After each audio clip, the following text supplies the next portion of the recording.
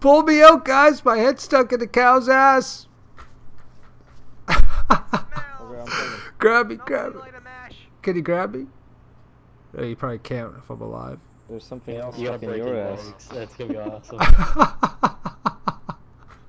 I'm just inspecting uh just random random butt inspection. What are you doing?